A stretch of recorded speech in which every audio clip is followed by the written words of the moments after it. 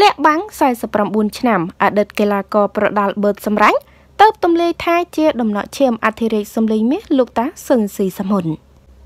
មានការស្រឡាំងកាំងស្ទើរតែគ្រប់គ្នាក្រោយពីបានឃើញអតីតកីឡាករប្រដាល់បឺតសម្រេចបានចេញមុខបញ្ជាក់ថាលោកគឺជាកូនប្រុសរបស់អធិរាជសំលេងមាសលោកតាសឹងស៊ីសមុទ្រការលើកឡើងរបស់អតីតកីឡាករប្រដាល់រូបនេះបានធ្វើមហាជនមានការចាប់អារម្មណ៍ ព្រោះមិនដែលដឹងថាអធិរាជសំលេងមាសរូបនេះគឺជាឪពុករបស់រូបលោកឡើយក្នុងនោះក៏មានការវែកញែកជាច្រើនពីសំណាក់អ្នកលេងបណ្ដាញសង្គមដោយចោទសួរជាសំណួរថាតើពិតមែនហេតុអ្វីបានជាលោកលាក់លៀមច្រើនឆ្នាំហើយទើបតែប្រកាសលេចមុខពេលនេះទៅវិញ។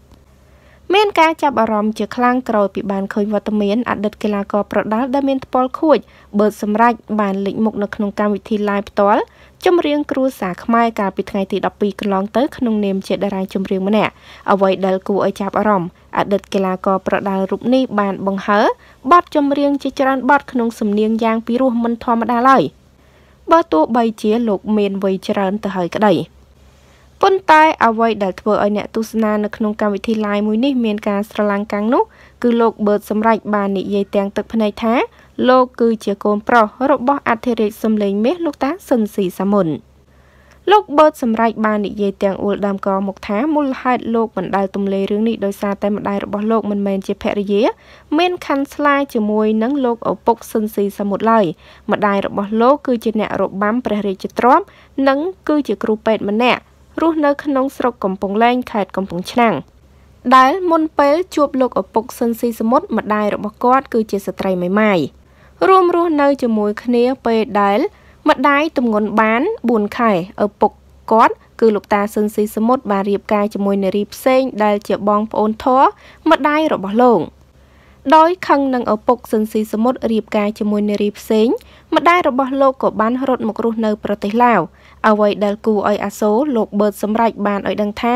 លោកមិនបានរស់នៅជាមួយម្ដាយបង្កើតទេដោយសារម្ដាយស្អប់រូបលោក ដែលជាប់ឈាមឪពុកគឺលោកតាស៊ិនស៊ីសមុទ្រតែលោកបានដឹងរឿងអធិរាជសំលេងមាសស៊ិនស៊ីសមុទ្រគឺជាឪពុកបង្កើត។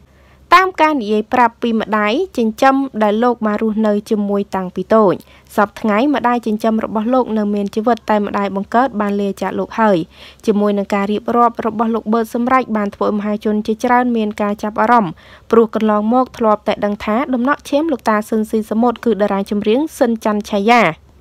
ដែលបានទទួលមរណភាពជាច្រើនឆ្នាំមកហើយអតីតកីឡាករប្រដាល់វ័យ49ឆ្នាំរូបនេះបានប្រាប់ថាលោកក៏មានទេពកោសល្យសិល្បៈពីធម្មជាតិដែរគ្រាន់តែកន្លងមកមិនមានឱកាសទន្ទឹមនឹងនោះក៏មានការលន់មកសរសើរថាលោកបឺតសម្រេចក៏មានទឹកដំសម្លេងផ្អែមពីរោះមិនធម្មតាជាពិសេសបទសម័យដើមរបស់អធិរាជសម្លេងមាសជាឪពុកគេចាំបានថាបឺតសម្រេចជាកីឡាករប្រដាល់ដែលមានឈ្មោះល្បីម្នាក់នៅក្នុងចំណោមកីឡាករល្បីៗនាពេលកន្លងមក